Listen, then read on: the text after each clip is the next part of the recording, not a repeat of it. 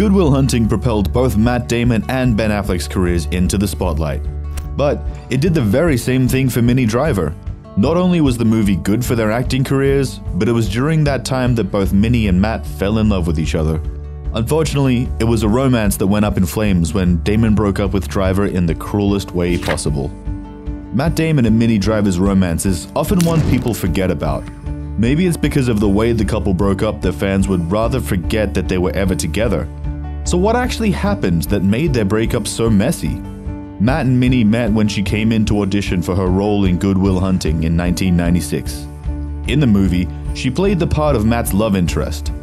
We aren't sure when exactly they started dating, but it's clear that the pair hit it off pretty soon because their on screen chemistry was undeniable. Whenever I was on my way to meet him, I felt like I was flying. Sort of like everything else was in soft focus, and only he was in sharply focused in that summer. The actress recalled their first meeting. They were really late. They were like an hour late. And then they exploded into the suite, and they were sorry, and there was something about a broken foot, and they were really hungover. She described seeing Matt and Ben like a bunch of really sweet Labradors kind of tumbled into this thing, and I was like, oh wow, these kids? These guys wrote Good Will Hunting? By the time they had to film their scenes together, the actress had confessed that she was completely in love with Matt. She added, I was blown away by his commitment to me as an actor. He was cute and intelligent and altogether a really charming package. I was young and I fell for him. It's an occupational hazard. The following year, the couple was spotted out and about the town. How could we ever forget the famous image of Matt with his small round sunglasses and Minnie in her bright red cardigan?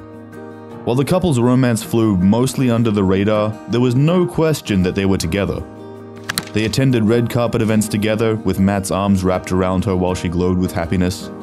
It was pretty clear that Matt and Minnie were smitten with each other.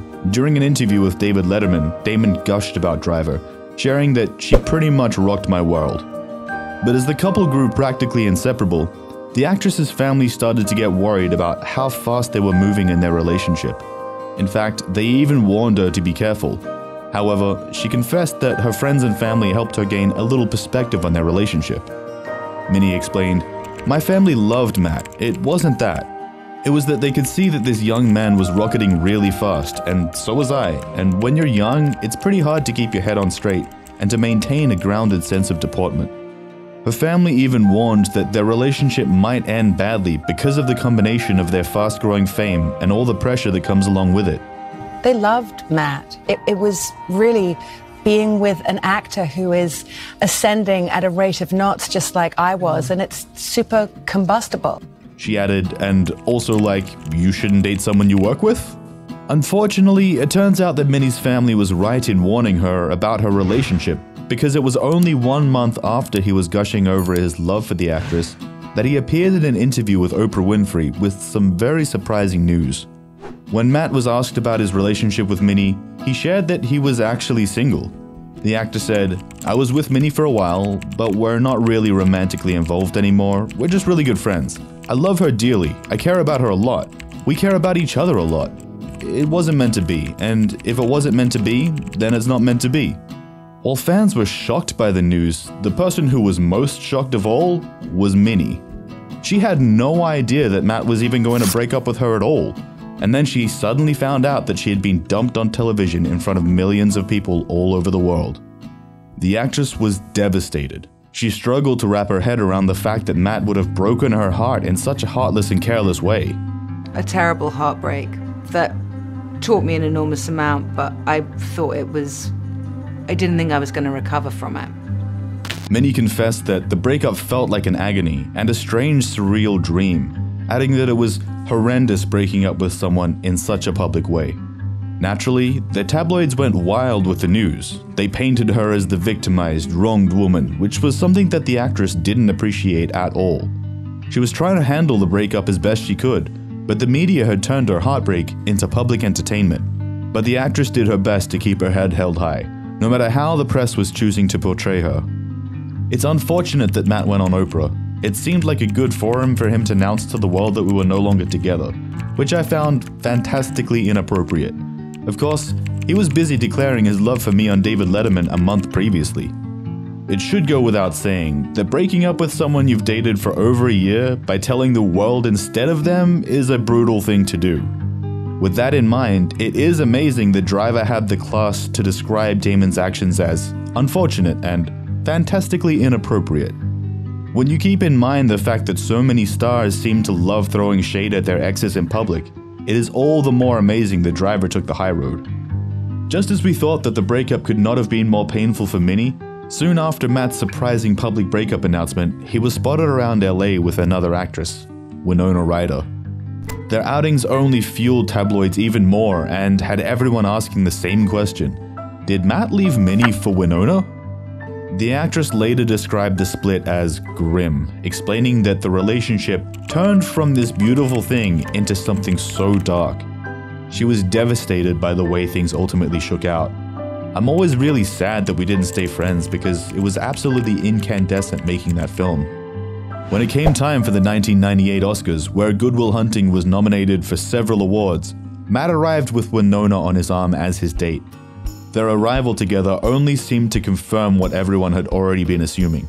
There's no way anyone could have imagined how Minnie had felt, watching her ex win an Oscar for a movie they had starred in together. But it seems like Matt learned his lesson when it came to speaking about relationships to the public. When he was interviewed once again with Oprah Winfrey, and she asked about his love life, the actor answered, I've pretty much learned that there can be no advantage gained by putting that in the public consciousness. There's no doubt that Minnie was shattered by the whole public ordeal, along with how the world had framed her as the heartbroken, victimized woman. But she never regretted her decision to work with Matt. In fact, during a 2014 interview, the actress expressed that she was grateful to Damon and Affleck for advocating for her to get the part in Good Will Hunting. She explained that the producer of the film, Harvey Weinstein, had thought she wasn't hot enough for the role, but Matt and Ben pushed for it, and she got the part. Minnie confessed that it was her late father that gave her the advice she needed to hear that healed her heart. One morning, she was sitting on the steps outside her house in London when her father came out to speak to her. She was still heartbroken over the breakup, knowing that Matt had left her for another woman, and she didn't know how to get over the pain. The actress shared her father's words. He was like, Listen, you're not going to want to hear this, but the best thing I can tell you is you're definitely going to feel this way about somebody else. Naturally, Minnie felt like that wasn't what she needed to hear. She actually told her dad that it was terrible advice and that she didn't feel any better. It wasn't until much later that she realized he was so right. Her breakup with Matt had taught her a lot of lessons. She learned a lot about love, heartache, and also about work. At first, she thought that after her role in Good Will Hunting, it would be easier for her to get more work. The actress explained, and then I didn't. I've had to fight really hard for every job I ever got, and I feel like that was the first lesson. It's never just going to come easily, and I think that's okay because the payoff is huge, like emotionally, being able to do what you love for a living and make money at it. Since then, a lot has changed for Minnie and Matt. He has been married to Luciana Barroso for about 17 years, and they have three daughters together. On the other hand, Minnie had been engaged to Addison O'Dea since 2019. She also has a son from her previous relationship with Timothy J. Lea. During a 2021 interview, Minnie revealed that she randomly bumped into Matt Damon on a beach after more than 20 years of not talking to one another. According to how Driver described that event, their interaction sounded quite friendly. She shared, It was actually very nice to see him, and his kids, and his wife, and it all felt quite middle aged actually, which was reassuring. I feel like so much of the folly of youth went on with our initial relationship, like it was amazing and tabloidy. So that was nice to just have sort of a middle aged conversation about the weather and stuff. While it's clear that both Minnie and Matt moved on from their messy breakup to live very separate but happy lives, a lot of people can't seem to forgive the brutal way that Damon broke up with Driver all those years ago. It was definitely one of the most shocking Hollywood breakups, but we're happy that they went on with their lives and started their own families. We only wish them the best for their future.